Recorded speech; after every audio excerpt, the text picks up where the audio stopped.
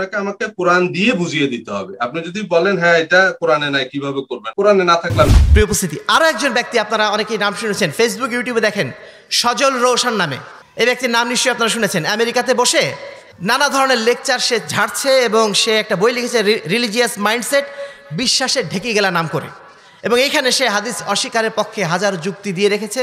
নানা কথা বলে সে বাংলার মুসলমানদেরকে বিভ্রান্ত করার চেষ্টা করছে এবং অত্যন্ত ভয়ঙ্কর ব্যাপার যেটা এখন।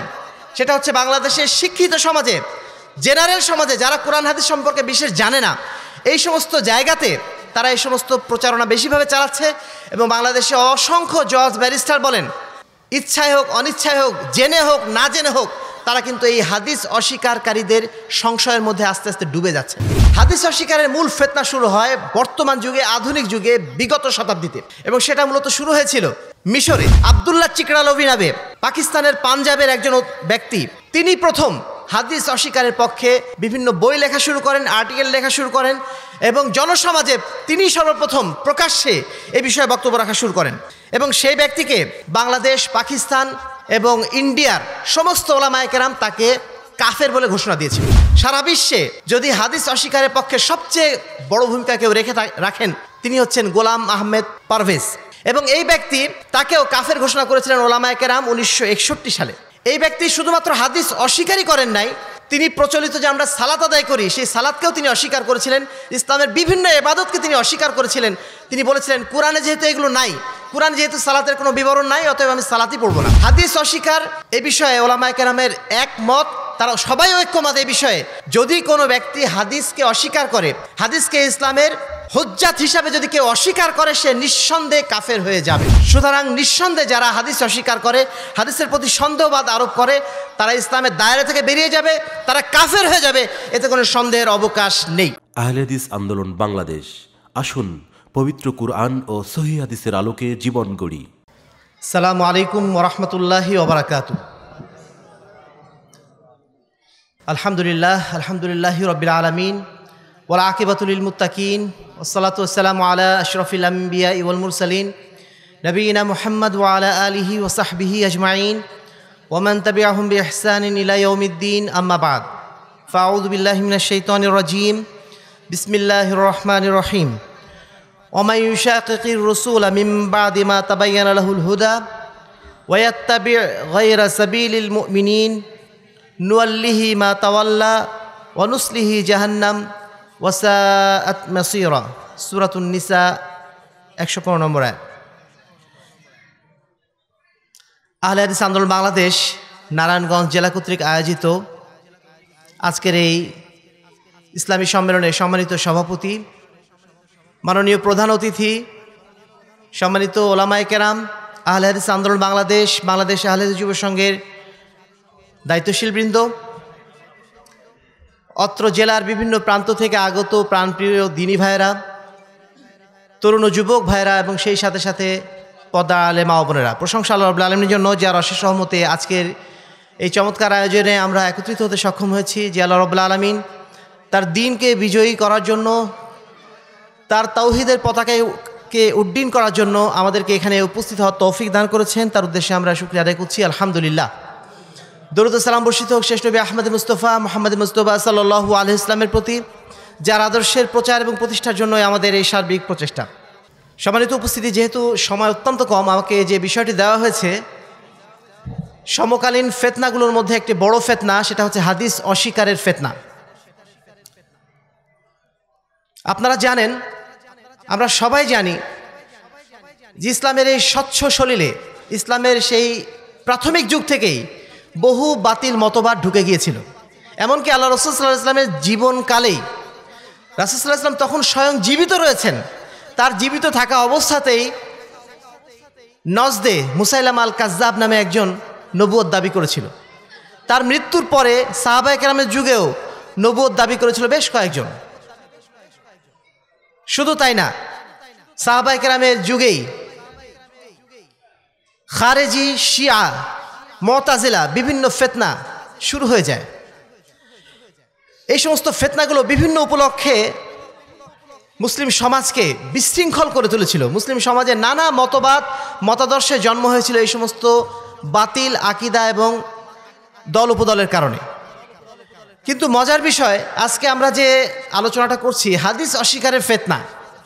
এই ফেতনাটা এমন একটা ফেতনা, যেই ফেতনাটা প্রাচীন যুগে আল্লাহ রসুল্লাহ ইসলামের যুগে বা সাহাবা একরামের যুগে বা তারও পরবর্তী যুগে মৌলিকভাবে এর উৎপত্তি তখন ঘটে নাই। এর উৎপত্তি ঘটেছে আজকে প্রায় ইসলামের তেরোশো বছর চলে যাওয়ার পরে নতুন এক ফেতনার আবিষ্কার হয়েছে হাদিস অস্বীকারের ফেতনা। ইসলামের প্রাথমিক যুগে আমরা সাধারণত বলে থাকি, আল্লাহ রসুল্লাহ ইসলামের একটি ভবিষ্যৎবাণী, যেটি সুনান আবু দাউদে এসেছে। ছয় হাজার, চার হাজার চার নম্বর হাদিস। আল্লাহ রসুল্লাহ ইসলাম বলছেন যে আল্লাহ ইন্নি উতিতুল কিতাব অমিসলুহু মাহু। নিশ্চয়ই আমি আল্লাহর কিতাব নিয়ে প্রেরিত হয়েছি এবং সেই সাথে অনুরূপ একটা বস্তু, অর্থাৎ হাদিস নিয়ে প্রেরিত হয়েছি। আলা ইউশিক রজুলুন শাহবান শাবান। তোমাদের মাঝে, তোমরা সাবধান থেকো, এমন কিছু লোক আসবে যারা সাবান যারা অত্যন্ত বিলাসিতা সহকারে, আলা আরিকাতিহি। তার চেয়ারের উপর বসে থাকবে, সিংহাসনে বসে থাকবে, ইয়াকুল আলিহিম বিহাদ আল কোরআন। সে বলবে, তোমাদের জন্য কোরআনই যথেষ্ট। ফামা ওয়াজাত তুমফিহি মিন হালালিন ফাহিল্লুহু। কোরআনের মধ্যে যা তোমরা হালাল পাও, তোমরা সেটাকে হালাল করো। অমা ওয়াজাত তুমফিহি মিন হারাম ফাহারিমুহু। কোরআনের মধ্যে যা কিছু তোমরা হারাম পাও, সেটাকে তোমরা হারাম করে নিও। আল্লাহ রসুল্লাহ ইসলামের একটা ভবিষ্যৎবাণী ছিল তার জীবদ্দশাতেই। কিন্তু এই ভবিষ্যৎবাণী আমরা তার জীবদ্দশাতেও দেখি নাই। পরবর্তীতে সাহাবায়কে নামের যুগে একটা মাত্র ঘটনা দেখা যায়। সেই ঘটনায় আমরা দেখি যে একজন ব্যক্তি আল্লাহ রসুলের একজন সাহাবি ইমরান ইবনু হোসাইনের কাছে এসে তাকে বলেছিল যে, আপনি আমাদেরকে কোরআন কোরআন থেকে কিছু বলেন। তখন ইমরান ইবনু হোসাইন রাজিয়াল্লাহ তালাহনু তিনি সেই ব্যক্তির উদ্দেশ্যে বলেছিলেন যে আকুন্তা মহদিসি আনি সালাত ওমা ফিহা হদুদুহা। তুমি কোরআনের কথা বলছো, কিন্তু তুমি কি আমাকে বলতে পারবে কোরআন থেকে যে সালাত কীভাবে আদায় করতে হয় এবং সালাতের নিয়ম কানুন কি কি, সালাতের সীমারেখা কি কি, এগুলো কি তুমি তুমি আমাকে বলতে পারবে? আকুন্তা মহাদ্দিসি আনি জাকাত ফিজ জাহাবি অল ইবিল অল বাকার। তুমি কি উট, গরু এবং স্বর্ণের জাকাত সম্পর্কে আমাকে কিছু বলতে পারবে কোরআন থেকে? অলাকিন কত সাহিত্য অগিপ্তা আন্তা। অথচ আমি আল্লাহ রসুল সাল্লাহ ইসলামকে দেখেছি, তিনি কীভাবে সালাত আদায় করেছেন, কীভাবে জাকাত দিয়েছেন, আর তুমি তো সেখানে অনুপস্থিত ছিলে। সুম্মা কলা ফরাদ আলেন রসুল সাল্লাহ ইসলাম ফি জাকাতে কাদা কাদা অতঃপর তিনি বললেন, আল্লাহ রসুল সাল্লাহ ইসলাম জাকাত ফরজ করেছিলেন এত এত। অকাল রজুল আহিয়াই তানি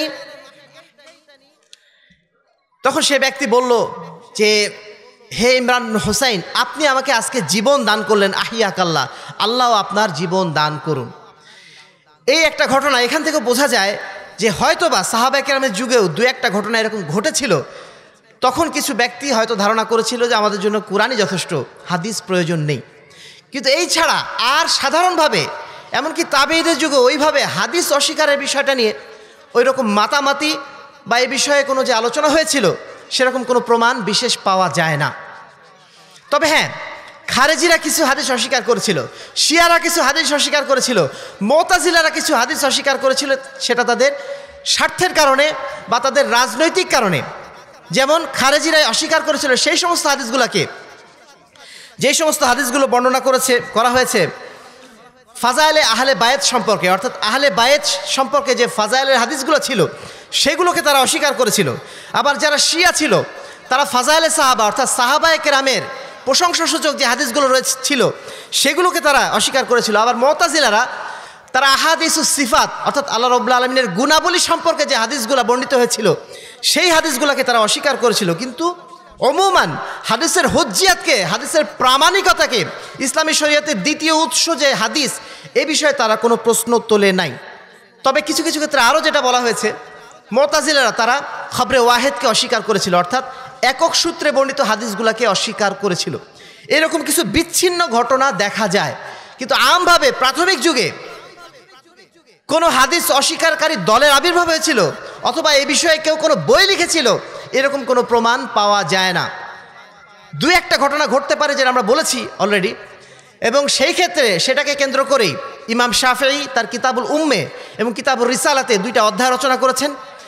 ঠিক এমনইভাবে আরও দু একজন ওলামায় কেরাম তারা কিছু অধ্যায় রচনা করেছিলেন, ফলে দেখা যায় যে প্রাথমিক যুগে হাদিস অস্বীকারের যে আম প্রবণতা, এরকম কোনো প্রবণতা আমরা দেখি নাই।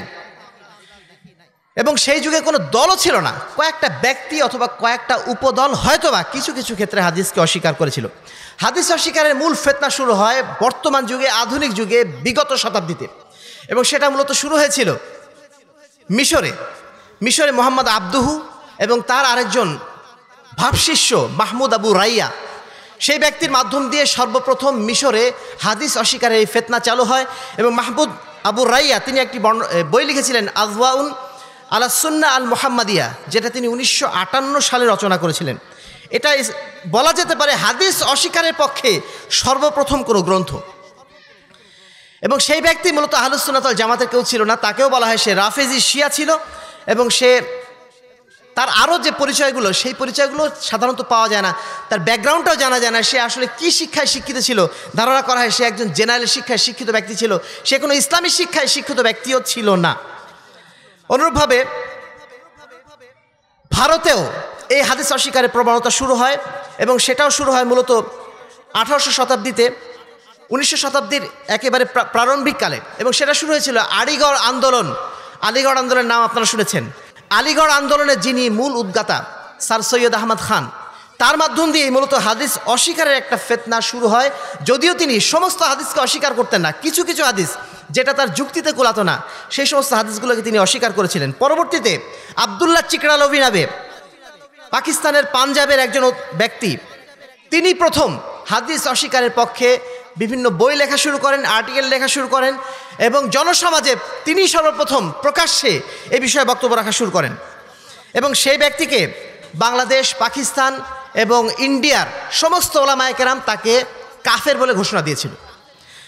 তারও পরবর্তীতে গোলাম আহমেদ পার- পারভেজ নামে আরেকজন ব্যক্তি, যিনি মূলত তিনি ইন্ডিয়াতে জন্মগ্রহণ করেছিলেন, পরে তিনি করাচিতে যখন দেশভাগ হয়ে গেল, তিনি তখন করাচিতে অবস্থান গ্রহণ করেছিলেন। তিনি তার একটা পত্রিকা বের করেছিলেন মাজাল্লা তুলু ইসলাম, উনিশশো আটত্রিশ সালে। এই পত্রিকার মাধ্যম দিয়ে তিনি প্রথম হাদিস অস্বীকারের পক্ষে নানা রকম যুক্তি এবং লেখনী শুরু করেন। এবং তার এই অবস্থান গ্রহণের পর, এবং দেখা যায় তিনি প্রায় পঁয়ত্রিশটা গ্রন্থ রচনা করেছিলেন হাদিস অস্বীকারের বিরুদ্ধে। বলা যায় ভারত উপমহাদেশে কেন? সারা বিশ্বে যদি হাদিস অস্বীকারের পক্ষে সবচেয়ে বড় ভূমিকা কেউ রেখে রাখেন, তিনি হচ্ছেন গোলাম আহমেদ পারভেজ। এবং এই ব্যক্তি তাকেও কাফের ঘোষণা করেছিলেন ওলামায় কেরাম উনিশশো একষট্টি সালে। এই ব্যক্তি শুধুমাত্র হাদিস অস্বীকারই করেন নাই, তিনি প্রচলিত যে আমরা সালাত আদায় করি, সেই সালাদকেও তিনি অস্বীকার করেছিলেন, ইসলামের বিভিন্ন এবাদতকে তিনি অস্বীকার করেছিলেন। তিনি বলেছিলেন, কোরআনে যেহেতু এগুলো নাই, কোরআন যেহেতু সালাতের কোনো বিবরণ নাই, অতএব আমি সালাতই পড়ব না। কোরআনে যেহেতু মানে জুমার কোনো বিবরণ নাই, তিনি জুমার সালাদটাও ত্যাগ করেছিলেন। এইভাবে ইসলামের অধিকাংশ এবাদত তিনি বাদ দিয়েছিলেন, যেগুলো হাদিসে আসে নাই। তার পরবর্তীতে বর্তমান যুগে যিনি একজন আছেন, তার নাম আপনারা অনেকেই শুনেছেন, ফেসবুকে বা ইউটিউবে দেখা যায়, জাভেদ গামেদি। জাভেদ গামেদি, তার জন্ম হচ্ছে উনিশশো সালে, বর্তমানে লাহোরে। লাহোরে তার মূল অফিস এবং আমি যেহেতু পাকিস্তানে কয়েক বছর ছিলাম, আমার সেখানে যাওয়ার সুযোগ হয়েছিল সেই জাভেদ আহমেদ গামেদের অফিসে এবং গোলাম আহমেদ পারভেজ তার অফিসেও আমার যাওয়ার সুযোগ হয়েছিল। যদিও সেখানকার অভিজ্ঞতা ছিল খুবই খারাপ। পরবর্তীতে কোনো আলোচনায় হয়তো সেটা উল্লেখ করব ইনশাআল্লাহ। যাই হোক, যেটা বলতে চাচ্ছিলাম, পাকিস্তানেও ভারত এবং পাকিস্তানে হাদিস অস্বীকারের যে ফেতনা যারা ছড়িয়েছিলেন, তাদের নাম আমরা উল্লেখ করেছি। এবার আসব আমরা বাংলাদেশে। বাংলাদেশে হাদিস অস্বীকারের ফেতনা সর্বপ্রথম শুরু হয়, আমরা যতদূর দেখেছি আমাদের গবেষণায়, মাওলানা আকরাম খান নাম আপনারা শুনেছেন, যদিও তাকে হাদিস অস্বীকারী বলা যায় না, তবে কিছু কিছু ক্ষেত্রে তিনি তার যুক্তি বাইরে কিছু হাদিস পেয়ে সেটাকে তিনি অস্বীকার করেছেন। তাকে সরাসরি মুনকিরুল হাদিস বলা যায় না। তবে বলা যায়, তারও পরে, বর্তমানে আপনার নাম শুনেছেন অনেকেই, নামগুলো আমি বলছি এই কারণে, তারা এখন প্রকাশ্য হয়ে গেছেন, প্রকাশ্যে এই কাজগুলো করছেন। এই জন্য নামগুলো আমাদের জানাও প্রয়োজন যেন আমরা সতর্ক হতে পারি। আপনারা নাম শুনেছেন, ঢাকাতে একজন ব্যক্তি আছেন, যিনি একজন medical doctor doctor Matiur Rahman. আপনারা অনেকেই হয়তো নাম শুনেছেন তার। এই ব্যক্তি, তিনি কোরআন লার্নিং ইনস্টিটিউট নাম করে তিনি হাদিস অস্বীকারের ফেতনাটা সংগোপনে মানুষের মধ্যে ছড়িয়ে দিচ্ছেন। এবং তিনি যেটা বলছেন, যেই হাদিসটা কমন সেন্সে খাটে না, সেই হাদিসটা যদি বুখারি মুসলিমের হাদিসও হয়, তবুও সেটাকে অস্বীকার করতে হবে। ইনি অত্যন্ত ভয়ঙ্করভাবে, তার কার্যক্রম অত্যন্ত সূক্ষ্মভাবে, গোপনে তার মিশনটা, তার এজেন্ডা বাস্তবায়ন করে যাচ্ছেন। আরেকজন ব্যক্তি, ইনার বাড়ি হচ্ছে খুলনা ডুমুরিয়াতে। যার নাম বললাম ডাক্তার মতিয়ার রহমান। খুলনার ডুমুরিয়াতে তার জন্ম। আরেকজন ব্যক্তি তারও মূলত কার্যক্রম শুরু হয়েছে খুলনার খালিশপুরে। তার নাম হচ্ছে তৈয়বুর রহমান গোপালগঞ্জি। তিনিও কিছু বই লিখেছেন, খুব ছোট ছোট কিছু বই। এবং সেসব হাত সেসব বইতে তিনি এত ভয়ঙ্কর কথা বার্তা লিখে রেখেছেন, সেটা পড়লে গা শিউরে ওঠে। তিনি বলছেন, যদি হাদিস মানা হয়, হাদিস মানা হচ্ছে শির্ক। কারণ আল্লাহ রবুল্লা আলমিন কোরআন নাজিল করেছেন হাদিস যেহেতু তিনি নাজিল করেন নাই, তাদের মানে বক্তব্য অনুযায়ী, অতএব যদি কেউ হাদিস মানে তাহলে হাদিসটা কোরআনের সমকক্ষ করা হচ্ছে, অতএব হাদিস মানলে নাকি শির করা হবে। বলুন নওয়াজুল্লাহ জালিক। শুধু তাই না, তিনি আরও বলছেন এই কথা, যে ব্যক্তি হাদিস মানবে, সে হচ্ছে মুনকিরে কোরআন। আমরা তাদেরকে মুনকিরে হাদিস বলি, হাদিস অস্বীকারী বলি, তারা এখন উল্টা আমাদের দিকে ঘুরিয়ে দিচ্ছে, আমরা নাকি মুনকিরে কোরআন কোরআন অস্বীকারী। তারপরে আরও একজন ব্যক্তি এসেছেন বর্তমানে, যার জন্ম উনিশশো উনসত্তর সালে এবং বাংলাদেশের ফরিদপুরে। যিনি আমাদের মার্কাজে কিছুদিন আগে গিয়েছিলেন, তার নাম হচ্ছে আবু সাঈদ খান। তার নামটাও আমরা প্রকাশ্যে বলতে বাধ্য হচ্ছি, কারণ তিনি তার সমস্ত প্রপাগান্ডা এখন প্রকাশ্যেই করছেন। বর্তমানে তিনি একটি বই রেখেছেন এই বছরই। বইটার নাম হচ্ছে প্রচলিত ও প্রকৃত ইসলাম। একটা ঢাউস সাইজের বই তিনি লিখেছেন এবং এই বইতে তিনি হাদিস অস্বীকারের সমস্ত বিষয়গুলা মোটামুটি সেখানে উল্লেখ করেছেন এবং তার দাবি হলো যে রাসুল সাল্লাহ ইসলামকে আমরা যেটা বলি, তিনি হচ্ছে ইমামুল আম্বিয়া, সকল নবীদের সেরা নবী, সর্বশ্রেষ্ঠ নবী যে তাকে বলি, এটা তিনি অস্বীকার করেছেন এবং এটাকেই তিনি বলছেন বর্তমান যুগে মুসলিম উম্মার মধ্যে ফেতনার সবচেয়ে বড় কারণ। তিনি শুধু তাই বলছেন না, তিনি বলছেন যে হাদিসকে মানার অর্থ হচ্ছে কোরআন থেকে মুখ ফিরিয়ে নেওয়া। এবং কোরআন থেকে মুখ ফিরে নেওয়ার জন্যই নাকি হাদিস আবিষ্কার করা হয়েছে। বলুন নওয়াজুল্লাহ বিন জালে প্রিয় উপস্থিতি আরও একজন ব্যক্তি আপনারা অনেকেই নাম শুনেছেন ফেসবুক ইউটিউবে দেখেন, সজল রোশন নামে। এই ব্যক্তির নাম নিশ্চয়ই আপনারা শুনেছেন। আমেরিকাতে বসে নানা ধরনের লেকচার সে ঝাড়ছে এবং সে একটা বই লিখেছে রিলিজিয়াস মাইন্ডসেট বিশ্বাসের ঢেকে গেলা নাম করে। এবং এইখানে সে হাদিস অস্বীকারের পক্ষে হাজার যুক্তি দিয়ে রেখেছে। নানা কথা বলে সে বাংলার মুসলমানদেরকে বিভ্রান্ত করার চেষ্টা করছে এবং অত্যন্ত ভয়ঙ্কর ব্যাপার যেটা এখন, সেটা হচ্ছে বাংলাদেশের শিক্ষিত সমাজে জেনারেল সমাজে যারা কোরআন হাদিস সম্পর্কে বিশেষ জানে না, এই সমস্ত জায়গাতে তারা এই সমস্ত প্রচারণা বেশিভাবে চালাচ্ছে এবং বাংলাদেশে অসংখ্য জজ, ব্যারিস্টার বলেন বা ওই লেভেলের লোক যারা, তারা কিন্তু এখন ইচ্ছায় হোক, অনিচ্ছায় হোক, জেনে হোক, না জেনে হোক, তারা কিন্তু এই হাদিস অস্বীকারীদের সংশয়ের মধ্যে আস্তে আস্তে ডুবে যাচ্ছে। প্রিয় উপস্থিতি এই সমস্ত হাদিস অস্বীকারী যারা, তাদের কমন পাঁচটা বৈশিষ্ট্য আছে। প্রথম বৈশিষ্ট্য, এরা দেখবেন, এরা ওলামায় কেরাম না। এদের মধ্যে একজন আলেম নাই। যারা হাদিস অস্বীকার করছে, তারা কেউ আলেম না। তারা ইসলাম সম্পর্কে তেমন কিছুই জানে না, এমনকি আরবি ভাষা সম্পর্কেও তারা জানে না। তাদের দ্বিতীয় বৈশিষ্ট্য, তারা হচ্ছে ইগনোর্যান্ট এবং অ্যারোগ্যান্ট দুইটা একসাথে, তারা হচ্ছে জাহেল, আবার জাহেল হওয়ার সাথে সাথে তারা হচ্ছে অহংকারী। প্রচণ্ড রকম অহংকারী জ্ঞানের অহংকার তাদের। কিছুই জানে না, অথচ অহংকার প্রচণ্ড রকম। তিন নম্বর যে বৈশিষ্ট্য, তারা আল্লাহ রসুল সাল্লাহ ইসলামকে সম্মান দেখায় না। তারা আল্লাহ রসুল সাল্লাহ ইসলামের নামের সাথে কখনো দেখবেন না সাল্লাহ ইসলাম বলছেন। তারা বলে মোহাম্মদ অথবা নবী নবী মোহাম্মদ এইটুকু বলবে। কিন্তু এর ওপরে তারা কখনো মোহাম্মদুর রসুল্লাহ সাল্লাহ ইসলাম এইভাবে তারা কখনো বলবে না। চার নম্বর যে বৈশিষ্ট্য, তারা ইসলামের বিভিন্ন এবাদতকে তারা অস্বীকার করবে। প্রথম যে ইবাদত ইসলামের ইসলামের সবচেয়ে বড় গুরুত্বপূর্ণ যে ইবাদত সালাদ সম্পর্কে তারা দেখবেন প্রচণ্ড রকম গাফেল, শুধু তাই না, সালাত এক একজন এক এক রাখাত পড়ে। কেউ তিন রাখাত পড়ে, কেউ দুই রাখাত পড়ে, কেউ শুধু জুমা সালাত পড়ে, কেউ কিছুই পড়ে না। যেহেতু কোরআনের সালাতের বিষয়ে কোনো বর্ণনা আসে নাই এই জন্য তারা সালাতে আদায় করে না। তাদের আরও বিষয় রয়েছে অনেকগুলো, যে সমস্ত বিষয় গায়েবের বিষয়, যেগুলো কোরআনে বর্ণনা নাই, যেমন কবরের আজাব কবরের আজাব তারা কেউ স্বীকার করে না। তারা বলে, এগুলো সব আজে বাজে গল্প। এ ধরনের অনেকগুলো বিষয় রয়েছে। পঞ্চম নম্বর যে বৈশিষ্ট্য তাদের, তারা হচ্ছে স্বেচ্ছাচারী, প্রচণ্ড রকম স্বেচ্ছাচারী। যদি তাদের সাথে আপনি কথা বলেন, দুই মিনিট কথা বলে থাকতে পারবেন না। কথা বলে তাদের সাথে আপনি, কি বল বসতে পারবেন না। এত আজে বাজে কথা বলবে এবং এত উল্টাপাল্টা কথা বলবে যে তাদের সামনে আপনার বসার রুচি হবে না। এই পাঁচটা মৌলিক বৈশিষ্ট্য দেখলে আপনার বুঝতে পারবেন এরা হচ্ছে হাদিস অস্বীকারী। এখন আসি যে হাদিস অস্বীকারীদের সম্পর্কে ইসলামের হুকুমটা কি? ওলামায় কেরাম এদের বিষয়ে কি বলেছেন? হাদিস অস্বীকার এ বিষয়ে ওলামায় কেরামের একমত, তারা সবাই ঐক্যমত এ বিষয়ে। যদি কোনো ব্যক্তি হাদিসকে অস্বীকার করে, হাদিসকে ইসলামের হজ্জাত হিসাবে যদি কেউ অস্বীকার করে, সে নিঃসন্দেহে কাফের হয়ে যাবে। ইমাম সুয়ুতি তিনি বলছেন, তার মিফতাহ সুন্না গ্রন্থের ছয় পৃষ্ঠায়, ইন্নামান আনকারা হাদিসান নবী সাল্লাহ ইসলাম কৌলান কানা ও ফেলান হজ্জাতান। যদি কোনো ব্যক্তি আল্লাহ রসুলের কৌলি হাদিস অথবা কোনো ফেলি হাদিসকে হজ্জাত হিসাবে অস্বীকার করে, কাফারা, সে ব্যক্তি অবশ্যই কুফরি করবে। ও খারাজা আন দায়রাতুল ইসলাম, এবং সেই ইসলামের দায়রা থেকে বের হয়ে যাবে। ও হাসারা মাল ইয়াহুদ নাসারা, কাল কেয়ামতের দিন সে ইহুদি এবং খ্রিস্টানদের সাথে তার হাসর হবে। ও মা মানশা মিন ফিরাকিল কাফারা। অথবা যে কোনো কাফেরদের সম্প্রদায়ের সাথে তার উত্থান ঘটবে, তার হাসর হবে। ইমাম শাওকানি বর্তমান বর্তমান যুগের একটু আগে, অর্থাৎ গত শতাব্দীতে তার জন্ম। তিনি বলছেন, আন্না সুবুতা হজিয়াতি সুন্না আল মুতাহারা ওয়া ইস্তিকলালিহা তশরিউল আহকাম জরুরতুন দিনিয়াতুন।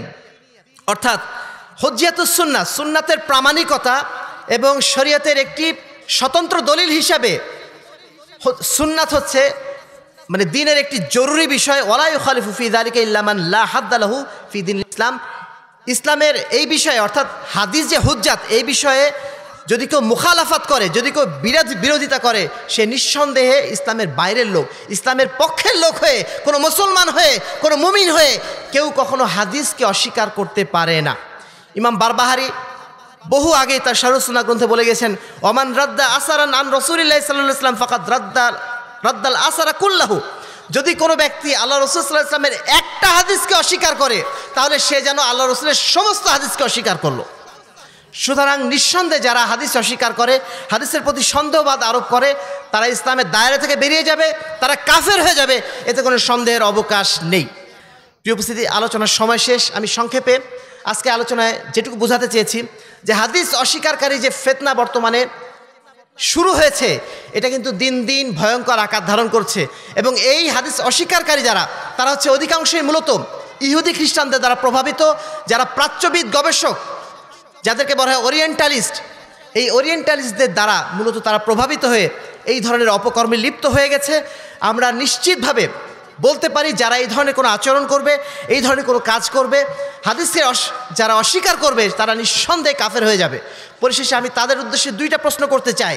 যারা হাদিস অস্বীকার করছে, তাদের উদ্দেশ্যে আমাদের দুইটা প্রশ্ন। প্রথম প্রশ্ন, যদি আপনি হাদিস অস্বীকার করেন, তাহলে ইসলামের যে মৌলিক চারটা ফরজ বিধান, শাহাদতের পরে সালাত, সিয়াম, হজ জাকাত এই চারটা বিধান আপনি কীভাবে পালন করবেন, যদি আপনি হাদিসকে অস্বীকার করেন?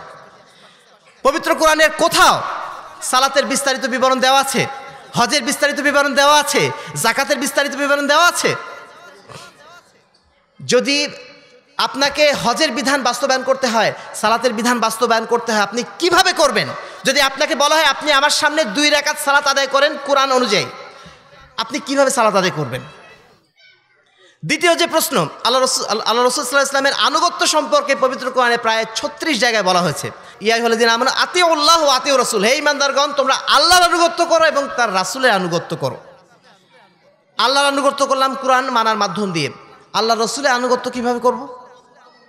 আল্লাহ রসুল্লাহ ইসলাম তাকে মডেল হিসাবে আমাদের কাছে পাঠানো হয়েছে। তাকে উসওয়ায় হাসান হিসাবে পাঠানো হয়েছে। এখন যদি হাদিস আমি না মানি, তাহলে আল্লাহ রসুল্লাহ ইসলামকে কীভাবে আমি মডেল হিসাবে গ্রহণ করব। আমি তাকে অনুসরণ করব কীভাবে? যদি হাদিস না থাকে। এই দুটো কোশ্চিন তাদের উদ্দেশ্যে আমাদের ছুড়ে দেওয়া হলো। সর্বশেষ কথাই যে আমরা যেন অবশ্যই এই হাদিস অস্বীকারের ফেতনা থেকে নিজেদেরকে বাঁচানোর চেষ্টা করি। চারিদিকে এখন হাজারো ফেতনা। চারিদিকে এখন হাজারো ফেতনা। এই ফেতনার মধ্যে নিজের ইমান বাঁচানো, নিজের আমলে সলেকে বাঁচানো অত্যন্ত কঠিন কাজ। এজন্য আমাদেরকে অবশ্যই বাঁচতে হলে জানতে হবে। এদের সম্পর্কে অবশ্যই জানতে হবে। এদের সম্পর্কে আমাদেরকে অবশ্যই সতর্ক থাকতে হবে এবং পবিত্র কোরআনে এই আয়াতটা আমাদের মনে রাখতে হবে, যেখানে আল্লাহ রবুল্লা আলম বলছেন সুরানিসের একশো পনেরো নম্বর আয়াত ওমাইশাকে রসুল আমিম বাদি মা তাবাইয়ানুল হুদা। নিশ্চয়ই যদি কোনো ব্যক্তি আল্লাহ রসুল সাল্লাহ ইসলামের বিরুদ্ধাচারণ করে, তার কাছে সত্য বিষয় তার কাছে হেদায়তটা স্পষ্ট হওয়ার পরেও মুমিনিন, এবং সে ইমানদার যারা যারা মুমিন, তাদের পথের বাইরে নতুন কোনো পথ বেছে নেয়, তাদের পথ থেকে দূরে সরে থাকে।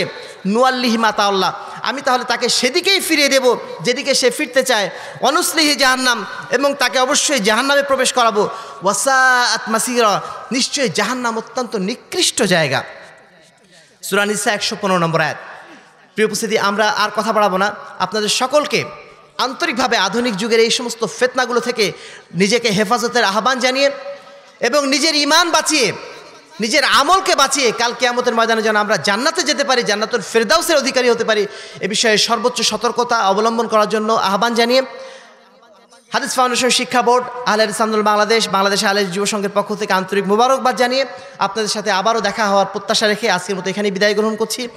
আর একটা বিষয় বলে নেই। এ বিষয়ে অনেকগুলো প্রশ্নের উত্তর দেওয়া হয়েছে। হাদিস অস্বীকারের, হাদিস অস্বীকারীদের সংশয় নিরসন নামে হাদিস ফাউন্ডেশন থেকে একটি বই বের করা হয়েছে। আপনারা চেষ্টা করবেন এই বইটি- সংগ্রহ করার জন্য। হাদিস অস্বীকারীদের পঁচিশটি প্রশ্নের জবাব এখানে দেওয়া হয়েছে। আশা করি আপনারা এখান থেকে উপকৃত হবেন। আল্লাহ রব্বুল আলামিন আমাদের সকলকে আমাদের নিজের ইমান হেফাজত করার তৌফিক দান করুন। আমাদেরকে কাল কিয়ামতের ময়দানে তার অনুগ্রহপ্রাপ্ত বান্দাদের মধ্যে অন্তর্ভুক্ত করে নিন। আমিন। ওয়াখির দাওয়ান আলহামদুলিল্লাহ রবিল আলমিন আসসালামু আলাইকুম ওরহমতুল্লাহি ওবরাকাতু